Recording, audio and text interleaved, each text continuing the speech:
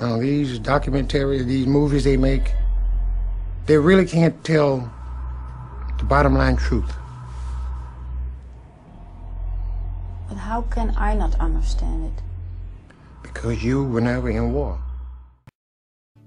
Fifteen years Le Bin Son Fought side by side with the Americans In the mountains and deltas of Vietnam 75 Saigon fell And he left his command And brought his family to the promised land Seabrook, Texas, and the small towns in the Gulf of Mexico. It was Delta country and reminded him of home. He worked as a machinist, put his money away, and bought a shrimp boat with his cousin. And together they harvested Galveston Bay. In the morning, for the sun come up, he kisses sleeping daughter.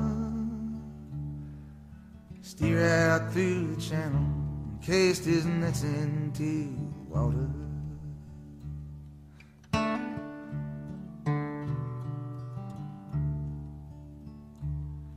Billy Sutter fought with Charlie Company in the highlands of Tri.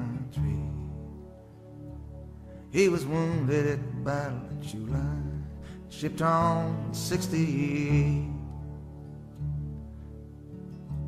There he married and worked the Gulf fishing grounds.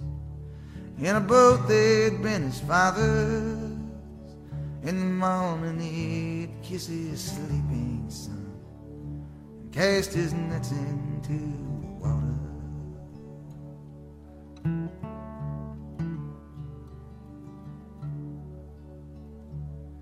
Billy sat in front of his TV as the South fell and the communists rolled into Saigon. He and his friends watched as the refugees came, settled on the same streets, and worked the coast they grew up on. Soon the bars round the harbor was talk of America for Americans. Someone said you want 'em out, you gotta burn 'em out. And brought in the Texas Klan.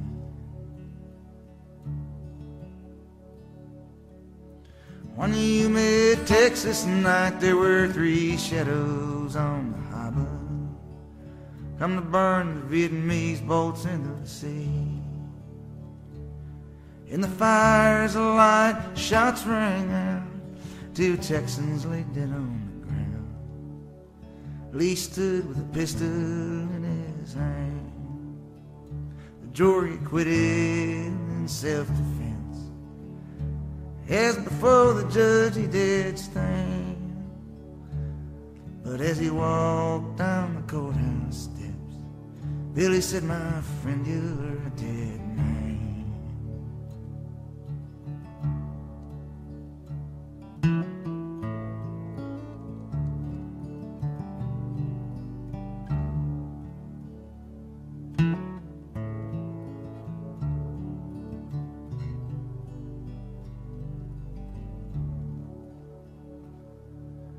One late summer night, Le stood watch along the waterside. Billy stood in the shadows, his K-bar knife in his hand. And the moon slipped behind a cloud. Le lit a cigarette, the bay was still as glass. As he walked by, Billy stuck his knife into his pocket, took a breath and let him pass. In the early darkness, Billy rose up, went into the kitchen for a drink of water, kissed his sleeping wife, headed into the channel and cast his nets into the water Galveston Bay.